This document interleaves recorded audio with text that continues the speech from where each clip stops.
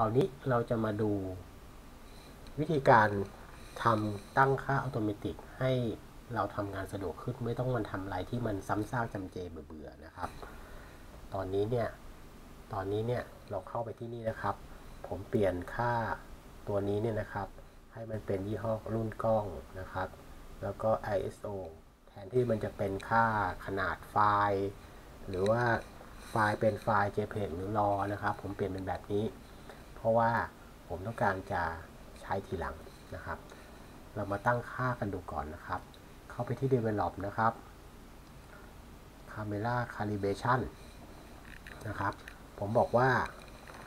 รูปเนี้ย Lightroom แกช่วยแก้สีให้มันตรงกับสีที่ยันเหตุของ JPEG หน่อยได้ไหม ใกล้เคียงก็ยังดีนะครับ เพราะว่าปัญหาของ Lightroom ก็คือ ปกติ default เนี่ย การแปลงไฟล์รอของ Lightroom นะครับ default มันจะอยู่ที่ Adobe Standard เพราะฉะนั้นเนี่ย สีสันโทนมันจะไม่ตรงกับที่เป็นค่า Picture Style หรือ Picture Control ของค่ายกล้องแถทั้งหลายแหล่นะครับ ผมก็บอกโอเค ให้เข้าไปเป็น Camera Standard นะ เห็นไหมสีเปลี่ยนเห็นไหมครับ คือ จาก Adobe Standard นะครับ ค่าพวกนี้จะเป็นการจำลองสีแล้วก็โทนของกล้อง Nikon D90 มานะครับ ผมบอกโอเคเอากลางๆมัน standard ก่อนแล้วกัน แล้วถ้าเกิดผมจะเปลี่ยนทีหลังค่อยว่ากันเป็นรูปๆไป แต่ให้เป็นสีสันเนี่ยมันใกล้เคียงกับ JPEG ที่เห็นในกล้องหน่อยได้ไหมโอเค สีเปลี่ยนนะครับ แล้วผมบอกว่าโอเค จริงๆ มันต้องเป็นแบบนี้นะครับ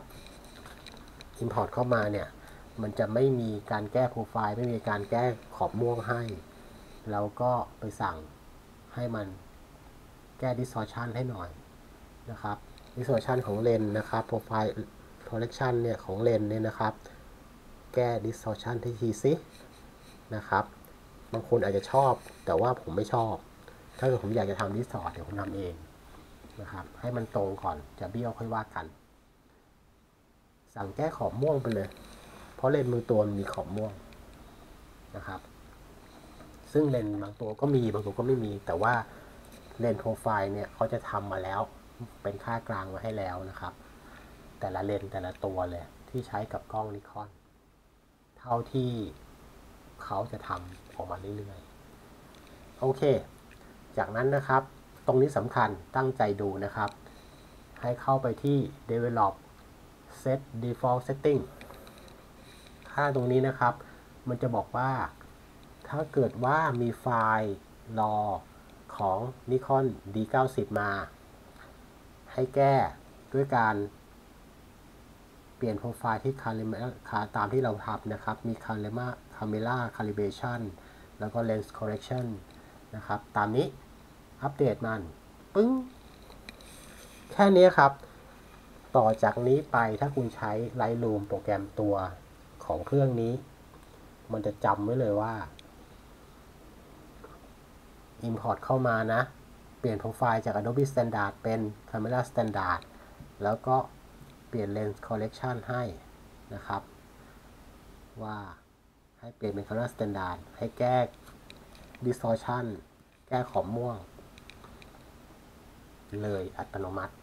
ตั้งแต่ตอนเรา Import เลยครับ เราไม่ต้องกลับมานั่งตั้งเช็คตรงนี้อีก หรือตั้งทำ preset ลายวุ่นวายเสียเวลานะครับ จริงไหมเรามาดูกันนะครับ เข้าไปที่ Library สั่ง Import นะครับ ผมขอ Import ไฟล์ของกล้องตัวนี้อีกตัวหนึ่งอีกอันหนึ่งนะครับ อีกไฟล์หนึ่งเข้ามาคือตัวนี้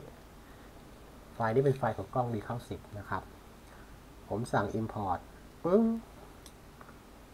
ปุ๊บลองเข้าไปที่ Develop แล้วดูซิว่าจริงไหม นี่ครับ แทนที่มันจะกลายเป็น Adobe Standard Default ให้เราต้องมานั่งแก้หน้าลำคาญ ไม่ มันเซตเป็นคำว่า Standard เลย แล้วก็แก้ขอบม่วงให้แก้แก้ Distort ให้ โดยเฉพาะพวกนี้ครับ ถ้าเกิดเราไปถ่ายพวกเส้นสายที่มันเป็นเส้นแล้ว เราไม่ต้องการให้มันโค้ง โดยเฉพาะพวกสถาปัตยกรรมนะครับ เนี่ยครับ Distort เห็นไหมดูเรือนไทยสิ มันจะดูอ้วนๆถูกไหม พอตึ้งเสาตรงปึ้งขึ้นมาเลยเห็นไหมครับ นี่แหละ คือการแก้อัตโนมัติ ซึ่งเราไม่ต้องมานั่งเสียเวลา พอ Import เข้ามาไปถ่ายรูปกลับมา Import เข้ามาทีนึง ต้องมานั่งแก้อย่างนี้ทุกที น่าลำคาญนะครับ แบบนี้ดีกว่า ต่อจากนี้ไปนะครับ ถ้าเกิดเรา Import รูปจากกล้อง D90 Nikon มันจะจัดการจำเลยแล้วก็แก้ตรงนี้ให้อัตโนมัติ ครั้งหน้าเราจะมาดูเรื่องการให้ให้ไลท์รูมนะครับ ดู serial number ของกล้องเลย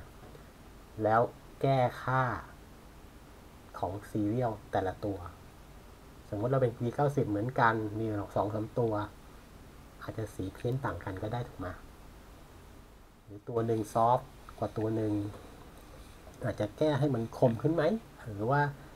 กล้อง V90 ตัวหนึ่งเก่า ตัวหนึ่งใหม่ ใช้มานานแล้วตัวนี้น้อยมันเยอะลดน้อยสักหน่อย